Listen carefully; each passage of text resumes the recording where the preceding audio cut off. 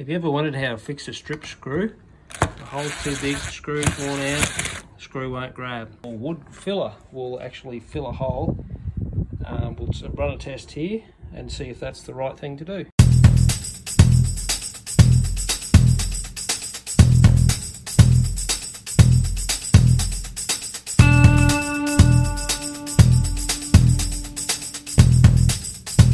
Right guys, here we are, next day, sanded that off.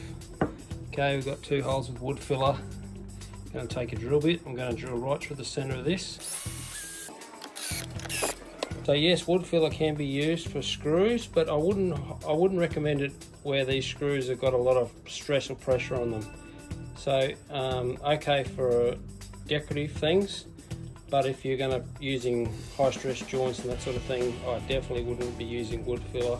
I'd be putting in a wooden dowel of some sort. Don't forget to check out link in the description